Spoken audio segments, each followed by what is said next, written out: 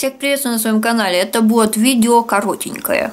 Мои ароматы на февраль. Я как бы начала эту рубрику где-то с декабря.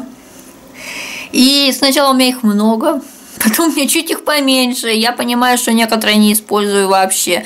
А некоторые внезапно начинаю, и они у меня как бы даже и в обзоре не были. И я поняла, что вот на зиму, ну, по крайней мере, на официальную зиму, вот в январе какие-то из них я пользовала. И понимаю, что в феврале мне тоже их захочется, скорее всего, пользовать. И я решила оставить только два парфюмчика. Это у нас Avon и Фраше. Вот это у нас Avon. Summer White Sunrise. С фиолетовой или сиреневой. Даже не знаю, как передать сиреневая, либо фиолетовая, светло-сиреневая, тем... светло-фиолетовая, темно-сиреневая, скажем так, крышечка. И он у нас что-то у меня так активно пользуется.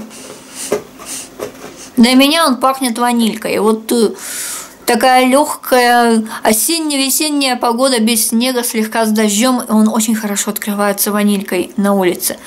Такая слегка морозная, практически зима со снегом погода, и он открывается чуть по-другому, и даже как- как-то немножко унисексовый, согревающий.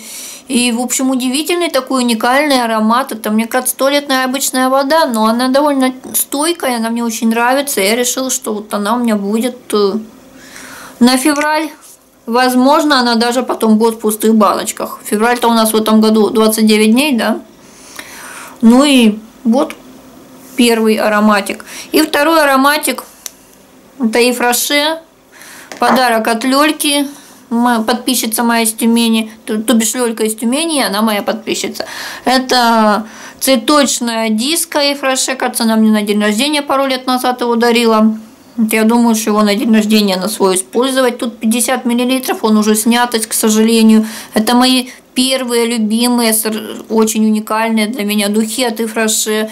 Я помню, в них влюбилась, когда только вот пробник как нам мне попался в заказе. Это вот самые мои любимые духи из Ифраше. Очень жаль, что их сняли, ну и цветочный, сладенький цитрусовый, немножко цитрусовых, немножко цветочков, легкий сладенький аромат, но он такой универсальный, что его можно и зимой, и летом. Хотя вот кому-то, я думаю, он чисто на лето подойдет, но для меня он очень классный. Он круглогодичный, зимой, летом, и весной, и осенью. Я даже не знаю, что я буду делать, если он у меня закончится, и больше нигде такой не достать. Если у кого в загашнике остался, и вы не знаете, что с ним сделать, есть Лёля. Она будет очень рада, я, то бишь, получить это в подарок.